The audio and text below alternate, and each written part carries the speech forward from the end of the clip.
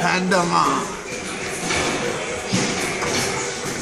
On Friday, November 15th, House of Glory presents Fight for the Gold.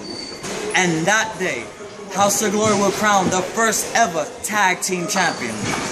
And as of right now, you're gonna have the die-hard attitude of the Pokemon fanatic Andy Lee Ray, the unique Panda Man.